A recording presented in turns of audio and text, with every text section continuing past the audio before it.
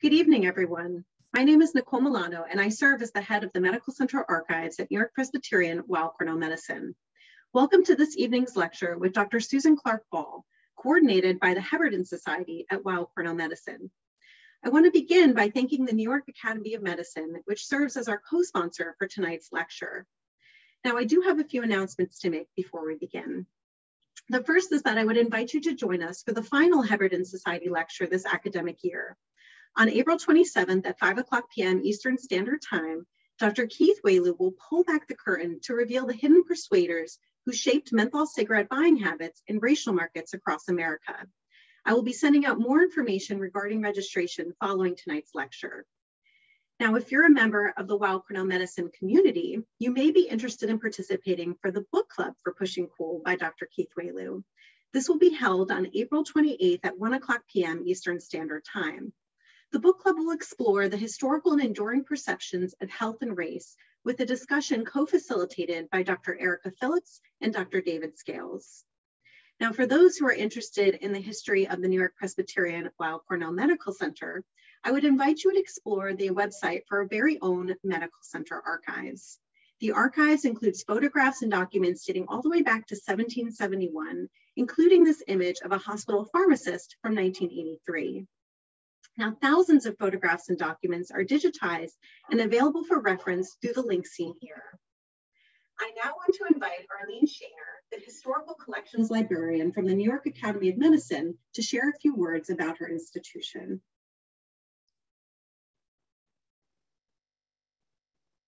So the New York Academy of Medicine Library is delighted to be a co-sponsor of the Heberden Lecture. Um, we are 175 years old this year, founded in the at the very beginning of 1847. And at the New York Academy of Medicine now, we tackle barriers that prevent everyone from living a healthy life gener by generating knowledge, changing systems, and engaging the public to ensure health for all. We are committed to health equity.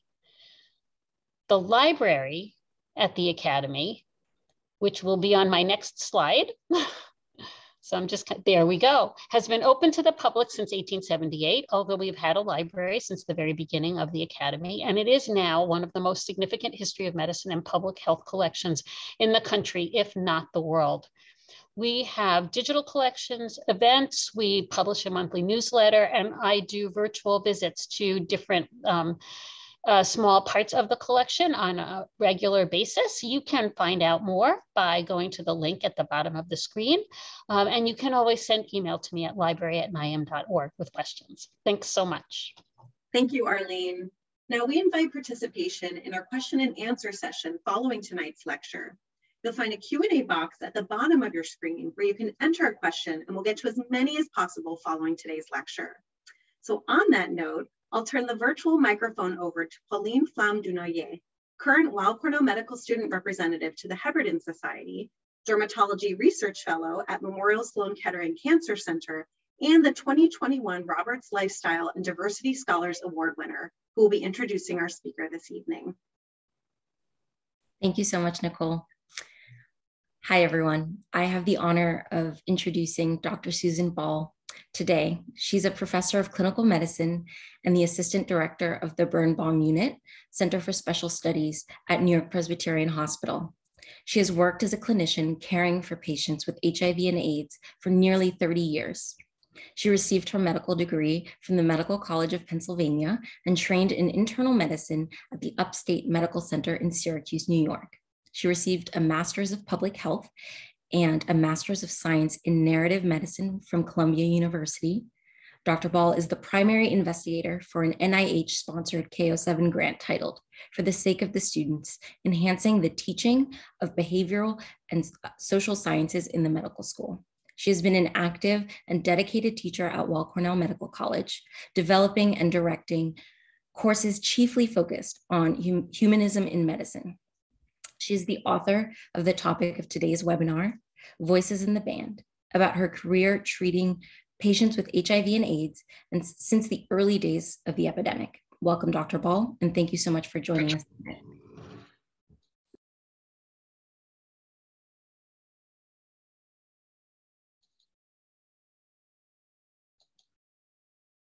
Thank you, and good afternoon, everyone. and thank you, Pauline, for that kind introduction. I have uh, no conflicts of interest to disclose. It's really an honor for me to be presenting a lecture for the Heberden Society today. I've worked as an HIV specialist since 1992. I feel like I've been incredibly fortunate to have been a part of the team at the Center for Special Studies. When I started at CSS, AIDS was nearly always fatal. Our patients died every week.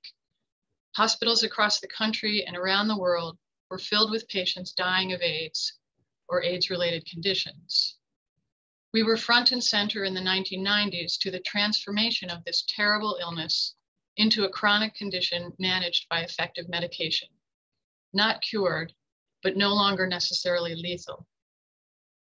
In the early 2000s, I began writing a book about my experiences and those of my patients and colleagues. I wanted to document those incredible years between 1992 and 2000. So much awfulness mixed, mixed with so much grace. My book, Voices in the Band, was published in 2015. It wasn't exactly a bestseller, but Nicole Milano, the director of the Heberden Society, she read my book last year and she invited me to come and speak to you today. So today I'll give a brief history of the HIV epidemic in its first 20 years in order to give you some background and context for the book that I wrote. I'll read a couple or a few expert excerpts from the book, from Voices in the Band, to bring you a sense of what our work and our patients were like in that time. And then I'd like to reflect on aspects of the current epidemic and touch on some of the similarities and differences my comparison of COVID and HIV was partially informed by a conversation I had last month by phone with Dr. Anthony Fauci, who was kind enough to call me to help me with this talk and to whom I'm extremely grateful. As a bit of an aside, I'd like to suggest for anyone interested that this article by Kent Sepkowitz from 2001 is a great review. Kent was a colleague at CSS early on and has been at Memorial for over 20 years. This article is very thorough. It also touches on some of the wackier aspects of the history of AIDS, including the highly visible catfight over who really discovered HIV, the long list of exotic and ineffective treatments that were tried by patients and doctors desperate for a remedy, and the conflicts around AZT, the first drug approved for the treatment of HIV, a drug that was both welcomed and reviled. I'd first like to situate us in the history of epidemics to put into context the HIV epidemic. Epidemic is defined as a widespread occurrence of an infectious disease in a community at a particular time. And pandemic refers to the spread over an entire country or the world. Here's a list from the WHO of notable pandemics in history. And we can see that two of the three worst pandemics in history have occurred in really the last 100 years with the Spanish flu being responsible for over 50 million deaths worldwide after the First World War, and the current HIV infection being responsible for more than 40 million deaths since 1981. Only the bubonic plague nearly 600 years ago killed as many people. A little later in the talk, I'll show another timeline that reveals the impact of these numbers. And as you can see here, since the Middle Ages, all the listed epidemics are caused by viral illnesses. I'll point out that smallpox, tuberculosis, and malaria are diseases which have killed many millions of people over many centuries, but they're not on this list because of their ubiquity in history.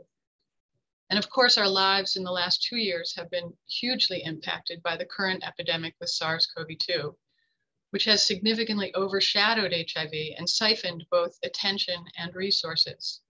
So HIV has faded from the front pages of the newspapers, but this pandemic is far from over. Most talks on the history of HIV will mention this article on the left from the Morbidity and Mortality Weekly Report that represents the first description of what we know now were cases of AIDS. The report described five previously healthy homosexual men in three different hospitals in California. They had biopsy proven pneumocystis pneumonia.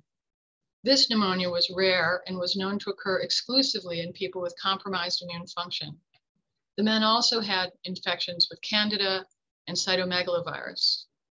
What's notable is that the, by the time this little cohort of patients was described, HIV was already well embedded in several demographic groups around the country. Cases of what we'd later come to know as AIDS were presenting sporadically as an isolated case of cerebral toxoplasmosis here or an unexplained case of CMV retinitis there. It really wasn't until several cases at once appeared that the medical community began to really take notice. You can see the New York Times picked up on it within a month with this article that discussed Kaposi sarcoma and severe immune deficiency in 41 homosexual men. The early name for this condition was gay-related immune deficiency, or GRID. By the end of 1981, there were 270 documented cases of severe immune deficiency, and 121 of those individuals affected had died. Just as a timeline, in 1982, the first clinic for treatment of the infection opened in San Francisco. Here in New York, the Gay Men's Health Crisis opened, um, was founded. Uh, Con Congress designated some funds to go to the CDC and the NIH, and the first infants with this condition were diagnosed. And in September, the CDC used the term acquired immune deficiency syndrome for the first time. 771 cases and 618 deaths in, in 1982. And in 1983 and 84, we saw further discoveries and increased knowledge of what we were dealing with. I particularly like to point out that by 1983, we knew that this illness was carried in blood and body fluids. It wasn't transmitted in a hug or on a toilet seat. It wasn't something in the air or lurking on a doorknob. Luc Montagnier, then Robert Gallo, and Jay Levy all had samples from the same patients, and they eventually realized the retrovirus they'd each separately identified was in fact the same virus, and they named it human immunodeficiency virus as the cause of acquired immune deficiency syndrome. So I'd like to read a short passage from my book about those first years as I experienced them. In the summer of 1982, after my first year of medical school, I met some friends for lunch at my roommate's house in Philadelphia. One of the people there was a fourth year medical student at a big hospital in New York. He told us of an illness occurring in gay men that made them very sick and sometimes killed them. No one knew what it was or what caused it. He mentioned that people use the term GRID, which stood for gay related immune deficiency. The, the student said that more and more cases of this strange but terrible illness were showing up in other hospitals in New York and the cases were now being reported in other cities around the country. We talked that day of how or why gay men would be victims of a disease like this. From the student's description, it sounded scary and ominous. Within the next two years, I'd seen several cases of this illness on my ward rotations. The patients were all young, young people in their 20s and 30s, and they were desperately sick. Some had terrible pneumonia caused by pneumocystis, an organism that only had rarely been seen before. Some patients were covered with purple spots and carried the diagnosis of a sarcoma that was supposed to affect only old men in Greece. Others were just skin and bones, unable to eat or feverish for reasons that we could not figure out. Gay men made up the majority of our patients, with others being intravenous drug users, both male and female, and the sexual partners of those drug users. In recognition of this broader patient population, the name for the illness became acquired immune deficiency syndrome, or AIDS. At about this time in 1984, I heard a lecture by an infectious diseases specialist at the University of Vermont. he spoke of an illness affecting large portions of communities in Central Africa, in Uganda and the Democratic Republic of the Congo, known then as Zaire. It was recognized in Africa as slim disease because patients had severe unremitting diarrhea and could not eat. They became profoundly wasted, and after months of sickness, they died. A high prevalence of tuberculosis in these regions complicated and generally worsened the course of this illness, which predominantly affected young adults and working age people. Because the ill could not work and, requir- and required someone to care for them, economic downturns were becoming apparent in these already impoverished regions. The infectious diseases specialist giving the talk noted the link between slim disease and the acquired immune deficiency syndrome, formerly GRID, now being seen in the United States. Research indicated that AIDS and slim disease were manifestations of the same condition. Increasing numbers of cases were being diagnosed in the, in the US, such that by the end of 1984, over 7,000 Americans had died or were suffering from AIDS. By 1985, there were over 16,000 cases, and the number of deaths just kept rising. Part of the reason I named my book Voices in the Band was in tribute to this book. Randy Shilts was a journalist in San Francisco whose only beat was covering the HIV epidemic. As a gay man, he wrote about the epidemic that surrounded him and killed many friends, and eventually it killed him. He wrote about the patients and their families and friends, the doctors and the scientists and the politicians as HIV steamrolled across the country. The book is full of heroes and villains, and it's really a giant of a book, and I highly recommend it to anybody who's, who, who's looking for a thorough understanding of those earliest years. Within, within, within 10 years, there were over 15, 150,000 cases and, and 120,000 deaths from this illness. When I look at this graph and these numbers now, I, I realize that COVID has kind of inured me to their impact. The COVID numbers are an order of magnitude higher, as we all know.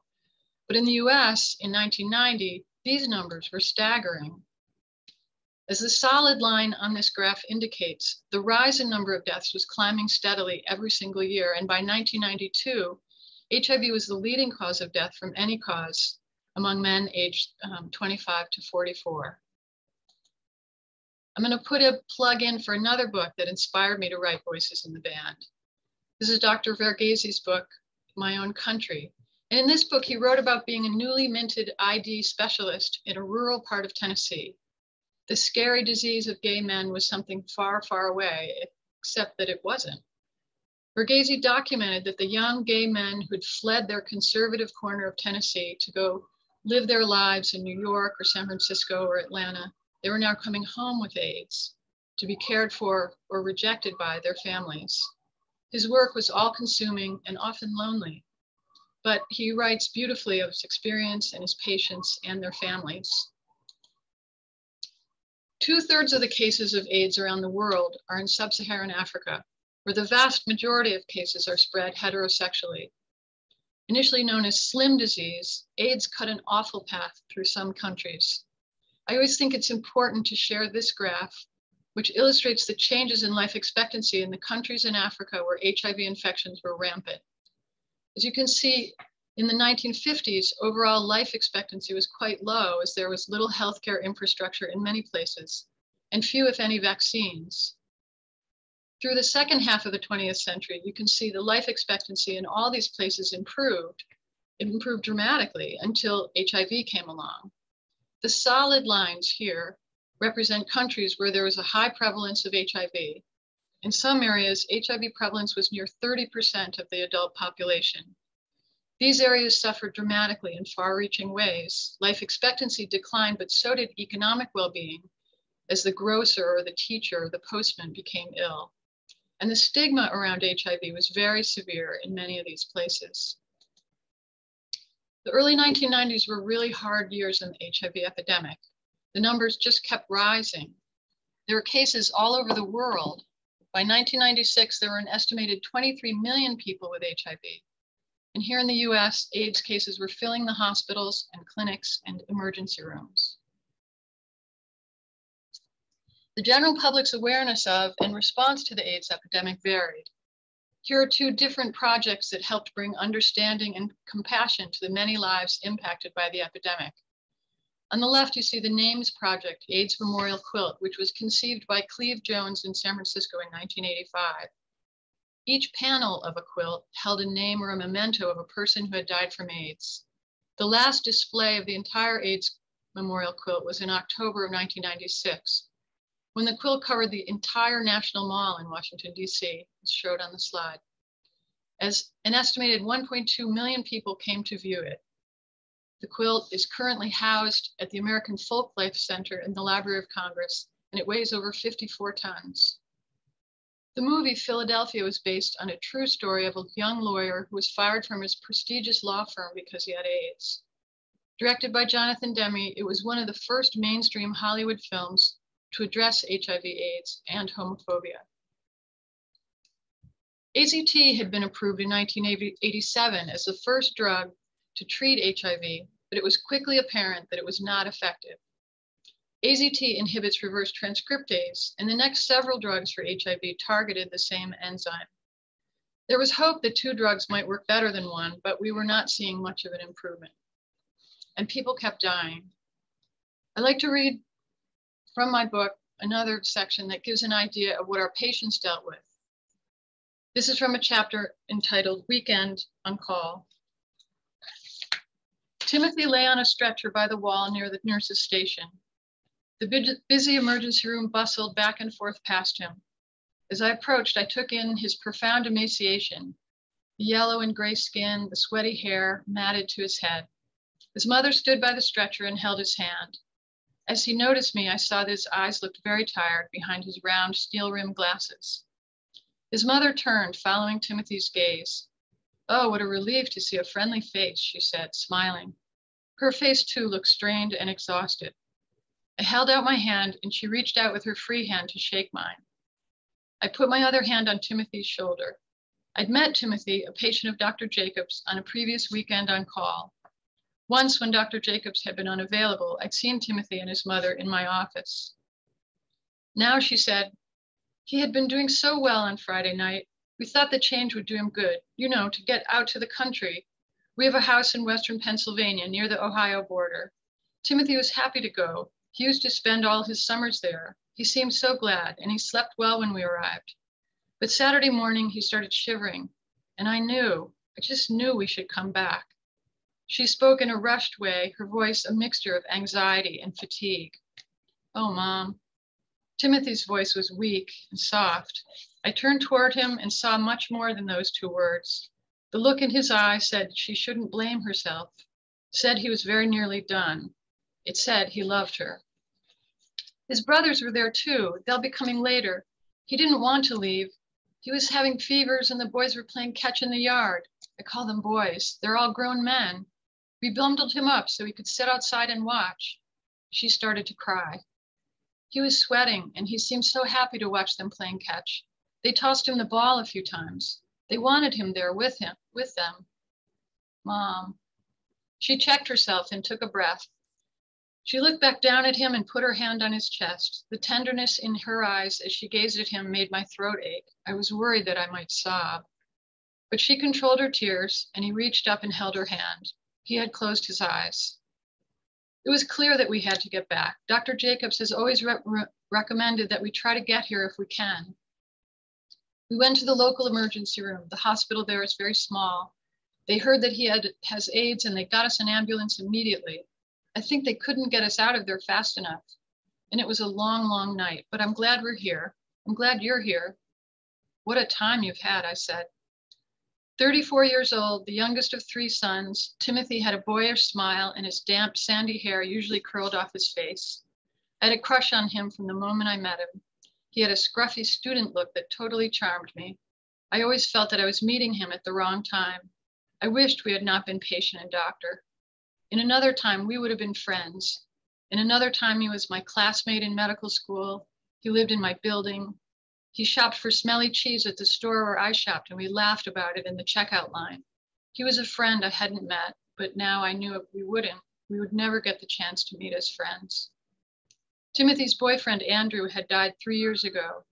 They'd been together for more than 12 years. In the last year or so, Timothy's condition had deteriorated.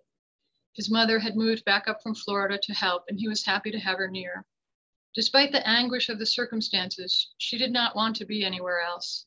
Timothy's father had died when Timothy was still in college. Well, I said, I talked to the attending and he said your ambulance drivers were not helpful. Did they really just bring you in and leave you without speaking to anyone? They barely said a word to us for 300 miles. It was good that you called me last night and let me know you were coming. I wish you didn't have to wait down here, but I'm hoping a bed will open up soon. It's all right, Dr. Ball. Everyone here has been very kind. Timothy opened his eyes again and I looked at him and said, Timothy, I know that you and Dr. Jacobs have discussed this before. And with your mother too. But each time you're admitted, we're supposed to ask you how you feel about certain treatments that are offered in the hospital if you need them. Timothy's mother was shaking her head and looking at the floor. I'm talking about whether or not you'd want to be placed on a breathing machine if you needed one. If you stopped breathing in the night, would you want to be resuscitated? No, he said very quietly. No, we have talked about this with Dr. Jacobs, said his mother. After the long stay in the ICU last year, Timothy said he didn't want to go through that again. Timothy met my eyes and shook his head. I don't want that stuff, he said. I nodded. I know things have been tough these last few weeks. You've been through a lot. We're going to keep you as comfortable as we can. Your fever worries me a bit and your blood pressure's a little low. Likely there's an infection somewhere. We'll get you some fluids and antibiotics, then see what your blood tests show. I'm sure that you'll feel a bit better with some hydration, but for now, no, no ICU, right? Thank you. The boys are coming later? Timothy's mother smiled. Yes, they're going to close up the house. Henry, the oldest, lives in Pittsburgh, so they'll stop there on the way to New York. That'll be good. I'm sure you'll be happy to see them. Part of the wait down here is because I want you to have your own room. It should be on our floor upstairs, so you'll be able to spend the night in the room if you'd like to. The nurses are good about that. I'm on call, so if there are any problems, please just have me paged. I took out my stethoscope and examined Timothy as well as I could, given the lack of privacy and the noise of the busy ER. Timothy's was not the only stretcher in the hall, and everywhere there were bodies and voices. It was a typical emergency room zoo with nurses, doctors, patients, students, visitors, security guards, orderlies, and transport staff all milling about. I wished I could offer Timothy and his mother a quieter place. I looked around and found a chair for her. The thought of their long ride last night in the ambulance with an unfriendly crew bothered me. It reflected on all of us when health professionals behaved poorly. But I knew that AIDS stirred up a lot of fear and discomfort in people. I wondered if the ambulance drivers felt changed by their experience of bringing Timothy to, to New York. The line, after that, they were never the same, went through my mind. Death changes us. Every moment changes us. I held Timothy's hand briefly, then shook his mother's hand again as I turned to leave. She reached out and gave me a hug. I struggled not to cry. We all knew it was coming. It was likely that Timothy wouldn't survive another month, perhaps not another week. As a doctor, I knew that my patient, this patient, was dying. Timothy knew as well. He didn't talk about it, didn't have much energy to spend thinking about it, but he knew. And his mother knew too. I could only imagine the nights and days she'd spent in the last few years thinking about it, worrying and waiting, and now knowing that it soon would be true, that her son, her golden boyish boy, her youngest would soon be gone. I hugged her back.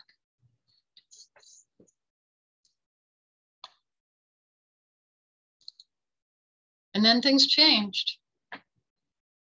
The new class of drugs, protease inhibitors, had started being used in 1995.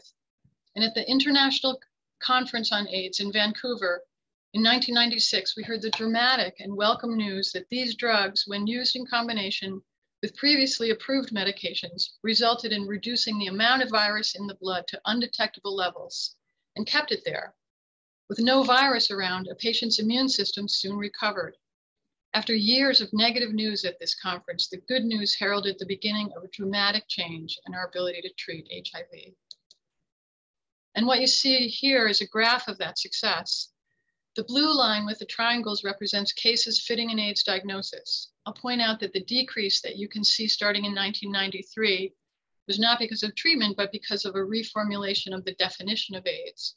But clearly there's a prolonged decrease in numbers of new cases extending out to 1998. As patients got on medications, less infections were transmitted. The red line with the diamonds represents AIDS deaths. And as you can see, this line plummeted between 1995 and 98 dramatically illustrating the effectiveness of the highly active antiretroviral, therapy, what we used to call HAART. As, and as a result, we see the yellow line with the circles climbing up off the graph. This is people living with AIDS, not dying, living.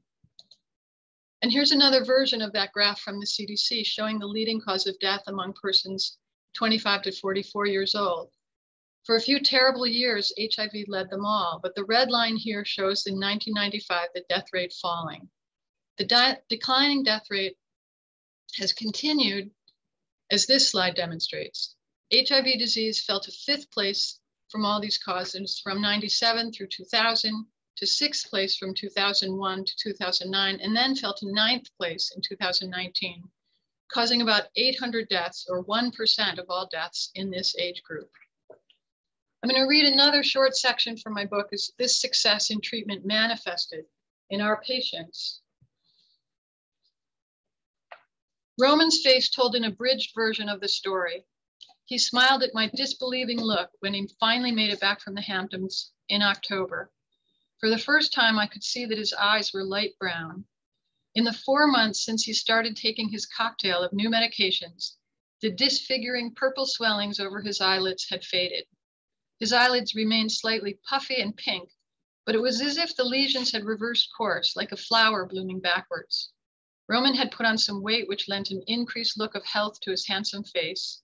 He brushed his fair hair back from his forehead, and as he talked, his breathing came easily. He never coughed. The pulmonary lesions on his chest x ray had nearly disappeared as well. Roman told me that at first he'd found it very difficult to take the medication. He'd felt sick, and the requirement to take pills every eight hours on an empty stomach thoroughly disrupted his eating schedule. Gradually, he said, he, he adjusted. I knew I didn't have a choice. I asked him if he'd missed any dose- doses. Not once, he said, never once. Though remarkable, Roman's case was not unique. In these last months, we'd seen several patients whose KS lesions had markedly faded since they started taking combination therapy that included protease inhibitors. Other patients with symptoms or conditions of advanced HIV improved on the medication as well. Those with profound wasting began to gain weight. Those with unexplained rashes saw their skin clear up and several patients reported their unremitting diarrhea had stopped within weeks of starting on a regimen with protease inhibitors. As I looked back at 15 years of death and no effective treatments to offer, the changes at first seemed like illusions, as if conjured by magic. I almost felt that at any moment the real disease would rear up and devour my patients. But slowly I began to believe. The blood tests supported this symptomatic improvement, revealing significant increases in T cell counts. Patients taking the cocktail, as we began, began calling the combination of medications, they took a lot of pills with lots of side effects, but showed slow, steady improvement in their immune systems. Most patients with low T cells also had hundreds of thousands of copies of virus per milliliter of blood. Some viral loads were in the millions. With the new technology, we began to routinely measure viral load levels. We used the viral load assay to measure the amount of virus at the initiation of therapy. Once patients were on the medication for a few weeks, these levels dropped so low, the assay couldn't find any virus at all. Patients achieved undetectable viral loads. It was stunning. In December, at clinic rounds one afternoon, Zoe Prin, one of our psychiatrists, told us that one of her patients, a large woman, had stood up in the middle of their session and with grand gestures sung a loud a cappella version of O Come All Ye Faithful. The exuberance and hopefulness of joyful and triumphant resonated throughout the days at CSS. We had clearly turned a corner in our ability to treat HIV.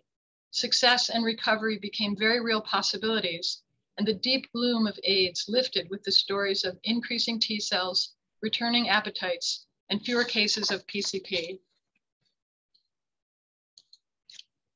These days, we have a lot of effective combination therapies to choose from, with novel, novel therapies being approved and in the pipeline. Our patients used to take many pills multiple times a day, some with food, some without. Side effects were rampant and long-term toxic, toxic effects were not uncommon. Gradually, the drugs became simpler to take. Combination pills were developed. Pills were smaller, better tolerated, and safer and effective against the virus if taken as prescribed. We use the word adherence. Patients who are adherent to their regimens do well. We no longer say compliance when talking about patients taking their medication. Adherence is key for antiretroviral efficacy. I want to read one more little section about Roman. Um,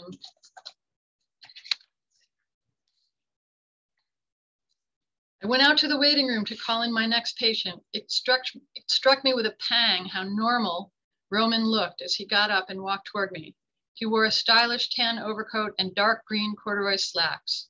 His tortoiseshell glasses made him look like an English professor, an appearance accentuated by the long hair brushed back from his face. You would never guess those light brown eyes, crinkling in a smile, had once been nearly covered with the purple lesions of Kaposi's. Roman's health had never taken a downward turn once since he got on his HIV medication. In four years, he could count on one hand the number of doses of medication he'd missed, three times a day, every day. His viral load remained undetectable and his T cells had risen slowly and steadily from the single digits to the hundreds, 200s, 300s. His, thankfully, was not the only success story in my practice, but it always made me happy to see him. I found it almost hard to imagine now that he'd been covered with KS, with a chest x-ray that revealed lungs full of lesions. Had he not started taking an effective regimen when he did, I had no doubt that he'd been in it, he would have been dead within months, maybe weeks. And instead, here, here he was looking fit and relaxed in a chair in my office. Roman, you look great. I'm feeling fine. Will you be checking my blood today? Your last labs were done in July when you were here. The time passes quickly. It looks like you missed an appointment in October. So yes, we'll do your labs today. Do you have enough medication? He nodded yes. I called for refills last month. And you're still just as steady with taking your pills. He nodded again. I never miss them. Why would I miss them? They're no trouble. His accent created an almost musical quality to his voice. I'm so glad. You do a great job. What are your plans for the holidays? He took a deep breath, held it for a moment, and said, I'm going home. Home to Brazil? He smiled, adjusting his glasses. Yes, Brazil. I haven't seen my mother in 12 years. But if you go back, if you go there, you can't come back, can you? No, I have no visa. Roman's vacation visa had expired a few months after he first got to the United States over 12 years ago. He managed to stay with the help of a woman he worked for. If he left and went back to Brazil, he could not return to the United States. Once in a while, he'd mentioned his wish to go home to see his mother and his friends, but he worried about having HIV there, getting care. He worried about being able to find work. Brazil, however, unlike many other countries, had made a commitment to caring for patients with HIV in the early 1990s. All patients had access to medications, Brazil's forward thinking and aggressive treatment programs kept its infection rates very low and made it a leader among countries having large indigent populations. In contrast, the president of South Africa in the early 1990s had declared that the AIDS epidemic simply did not exist. His government did not support HIV education or prevention and treatment programs, with the result that in many poor communities in South Africa, the HIV infection rates approached 30% by the end of the decade. I didn't worry that Roman was returning to Brazil. I felt confident that he'd get excellent care and be able to continue all his medications. If anything, he might find less stigma there as well, given Brazil's open acknowledgement of the epidemic. Roman, I'm really glad for you, and I'm glad for your mother. She'll be happy to see you, I'd imagine. Roman laughed, and the brown of his eyes was not obscured by any purple spot or scar, a far different image from what had been the case three years before. Before he left, he gave me a hug. I wished him luck and told him that we missed it, we'd miss him. Roman had done all the hard work just by taking his medicine. I couldn't hope to fix what was broken for so many of my patients. I cheered when the virus became undetectable, but prescriptions couldn't heal a broken home or an abusive childhood or 10 years in jail for drug possession. Roman had a healthy life, and I didn't have many patients like him. You may also have heard about an injectable form of treatment for HIV that requires administration only once every two months. That's the most re recent innovation in the treatment of HIV. We've really come so far. And treatment has slowly but surely been being made available to people all over the world, specifically in the underserved areas of sub-Saharan Africa that I mentioned earlier, all countries have made effective antiretroviral therapy available. There are national treatment programs in many countries, and PEPFAR, the Gates Foundation, and the Clinton Foundation, and others are helping to ensure that the people who need treatment have access to it. In 2015, for the first time, more than half of those infected with HIV worldwide were receiving treatment. The most recent numbers show that this has increased to over 70%. And as this slide shows, with very, fairly wide ranges, the WHO estimates that there have been roughly 80 million people infected with HIV since 1981, and over 36 million deaths. Now that's in contrast to our current COVID epidemic. The previous slide is data for over a 40 year period. And here is data from Johns Hopkins Resource Center. In two years, there have been over 470 million cases of COVID, and to date, over 6 million deaths. We are currently right now on the threshold of yet another surge of cases in this country. Vaccines have made a huge difference. And as you can see that nearly 11 billion doses have been administered. But what will we be saying in 40 years? Earlier, I showed a chart showing the placement of HIV in history and the numbers of deaths associated. The chart here is from a website named The Visual Capitalist, which looks at the history of pandemics. Note that they are not in chronological order. The first two are the Black Death and the Plague of Justinian. Both were bubonic plagues caused by Yersinia pestis, spread from fleas on rodents and animals. Note that the Justinian plague, known to have occurred in Europe in the middle of the sixth century, occurred when the estimated population of the world was 210 million people, and it killed over 19% of the world's population. 800 years later, from 1347 to 1351, the bubonic plague raged again. This was the Black Death. The world's population was estimated to be 390 million at this time. This website lists the death toll at 200 million. The range in other web uh, websites is between 75 and 200 million across Europe and the Middle East. But it seems between a third and half of the entire world population died from this plague. And contrast this with our more recent epidemics. HIV AIDS has killed over 30 million people, but with an estimate of 4.46 billion people on Earth, that 30 million is just 0.7%, less than 1%. And with COVID, though the numbers in just two years are staggering, the 6 million deaths thus far are, are far less than 0.1% of the 7.9 billion people in the world today. I'm not minimizing the devastation of either of these pandemics. But it is worth noting that we really cannot even conceive of an epidemic that wipes out half the people on Earth, as the Black Death did 700 years ago. I didn't think that I could speak today just about HIV. The shadow cast by COVID in our current day to day is just too great. So, on a bit of a whim, I wrote to Dr. Fauci's office because if there's one similarity for these two epidemics, it's his presence. You are all probably aware that Dr. Fauci did his residency here at the New York Hospital, as it was then called. After residency, Dr. Fauci went to work at the NIH and became, after some persuading, a vital force in getting effective medications approved for treatment of HIV. His role in the COVID epidemic in this country cannot be overstated. I asked his assistant in an email if he might have time to speak with me about these two epidemics, I'm still a bit starstruck to tell you that he called me the very next day.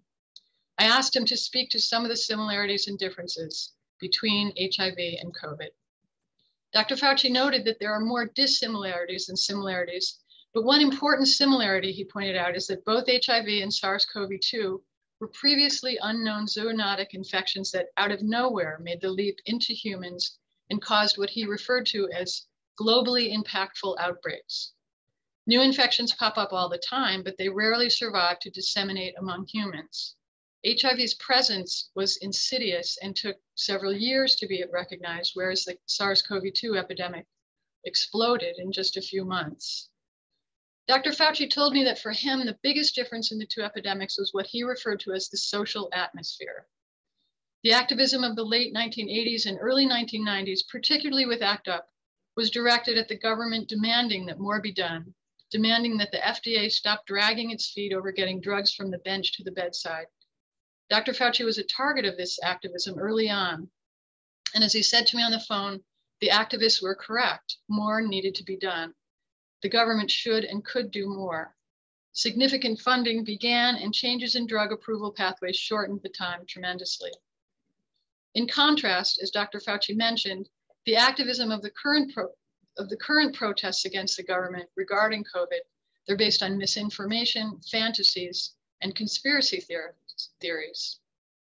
This graph shows the enormous difference in hospitalization rates between COVID cases in the vaccinated and unvaccinated.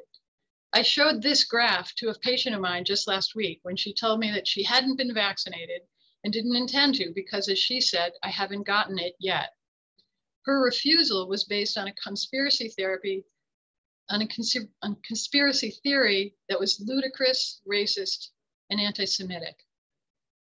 Dr. Fauci and I did not discuss politics or politicians. However, it's apparent that a similarity for both epidemics was the arrogance and ignorance that informed the decisions at the highest levels. Here on the left is a transcript from a press conference in 1982 at the White House, where a question about gay plague was greeted with laughter and smug homophobia. And on the right are some quotes from the president in early 2020, noting that COVID would just disappear. Ronald Reagan didn't mention the word AIDS for several years, and Donald Trump, as the president, took no responsibility. I hesitated to include this in my talk today, but one cannot help but wonder how much less suffering there would have been in this country had these men been more willing to work with public health experts and scientists. Of course, the latter made their own mistakes. These novel infections didn't come with instruction booklets, but I believe we could have done a lot better. I would like to note that these observations are my own and have not been reviewed by or approved by anyone at my institution. So here are some aspects to compare and contrast the two epidemics. Things that are similar include the things that I've mentioned, as well as the high death tolls, the trauma for patients, providers, and families, and the recognition of aspects of the world that are changed due to the pandemic. Differences range from one disease embedding itself before its actual recognition and COVID's explosive contagion. And the two infections are, are transmitted in quite different ways also the fact that COVID has these emerging variants. And unlike for HIV, we've been really fortunate to develop multiple effective vaccines against COVID. And a final similarity is the sadness of knowing that so many people have died alone. In COVID, the isolation restrictions were and are heartbreaking for many. In HIV, we saw people dying alone because of stigma and prejudice. Yet I can attest, and I'm sure many of you can remember, how so many times the care we provided helped our patients feel less lonely. And many of the terrible deaths from AIDS, AIDS were surrounded with love. And our PPE hasn't really changed all that much. I'd like to leave you with one more excerpt from the book I wrote about my experiences in the 1990s. It's from the epilogue at the very end of the book. 10 years after the body of the book takes place. I don't miss those bad old days of HIV care. Even just the few patients I've seen today remind me of the sad, hollow feeling of watching so many young people dying from an illness we could not treat. But in the 1980s and early 1990s, it had been like trekking on another planet, exploring unknown territory where few wanted to go. Our precious camaraderie bonded us, bonded us together bonded us too with our patients as we tried to help and protect them. Maybe it's a bit like the metaphor of the battlefield where we shared a sense of being alive, doing something brave and important. Today, our care for our patients can become routine. We spend a lot of time talking about taking pills and stopping smoking. The feeling of serving on a unique and noble battlefront has diminished. I recognize that we have good medications, effective treatment for HIV, but there is much in my patients' lives that goes untreated. For so many, AIDS is one symptom in a life of limited opportunities, unmet needs, and inequities.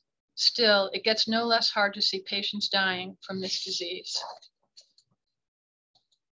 I'd like to dedicate this talk to my sons, Jules and Paris, who have listened to endless harangues about safer sex and condoms and boyfriends and girlfriends, and who I hope will continue to be the generous and spontaneous and adorable kids that I love, and to my colleagues, John and Sam, and to Sherry.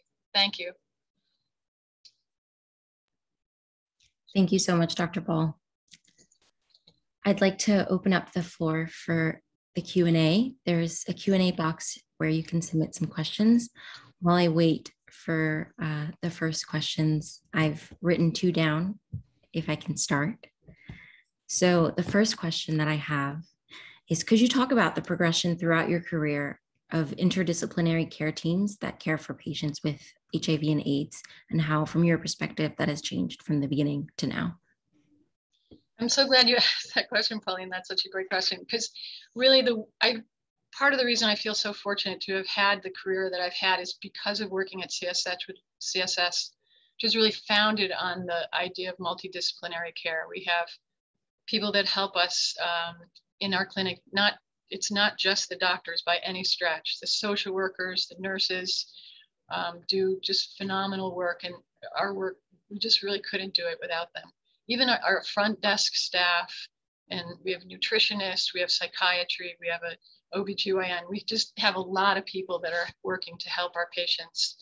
And that model has continued even, even now uh, at CSS. And it, we continue, I think, to provide a level of care for our patients, which is um, somewhat unique um, in medicine, really, because um, it, it's hard to provide this kind of care and be so comprehensive. And I think our patients really, really benefit from it. So thank you for asking the question. Sure, of course. Um, I have a comment from Ruth Riley. Thank you so much for all that you've done for so many people with AIDS and their families, Dr. Ball. I just ordered your book and look forward to reading it. Thank you. so while I wait for another question, um, I will ask my second question. Do you have any words of advice for young trainees as they're launched into the beginnings of their career throughout the COVID pandemic, um, since this sort of mirrors your own um, launching into your career at the beginning of the AIDS epidemic. Yes, that uh, it's it's an interesting point. I will say that the vast majority of my colleagues are in, trained in infectious diseases because of my getting into it um, when I did. Uh, the initial, we were initially under the umbrella of general medicine because patients could present in such a variety of ways, you know, from psychiatric issues to GI issues to dermatolo- dermatologic issues, but ultimately it's an infectious disease. But you know, seeing um, COVID coming along, um, and there's there's no question that we're going to be seeing novel infections in in the future. And so, for people interested in being at the forefront of, of, of something like this, of, of, a, of a pandemic or trying to care for people, being an infectious disease is a pretty interesting field. Um, and there's a lot, there's a lot to offer. I hope, I hope that answers your question. Thank you. So we have another question from Oliver Fine. Um, how important was your experience with narrative medicine, uh, the program at Columbia? Oh, that's a that's a good question too. You know, I think for me, um, particularly in the 1990s, it just was such a um, intense time for the patients, for the providers, for our teams. And I would go home at the end of the day and, you know, talk to my family about it, or I would write about it. And when the narrative medicine program um, began, Rita Charon's program in 2009 is when that the narrative medicine master's degree program started at Columbia. Um, I thought that that would be a really great way to help me finish this book that I had been trying to to to write, um, and which I had actually put aside for a while because it was it really needed a lot of help. Um, and so getting into that program helped, and I had a a great teacher, Lynn Sharon Schwartz, who really helped me and, and helped me get the writing much better so that I could get the book published. So from from an HIV and my work standpoint and getting the book done, narrative medicine was really very important. But then since then, I've done a lot of teaching, as many of you know, um, a lot of teaching of narrative medicine in the medical school, and that's been really important to me. And I think it's a very, very important tool in helping uh, students and doctors connect with patients and connect with the work that they're doing. So it's it's been very important for me.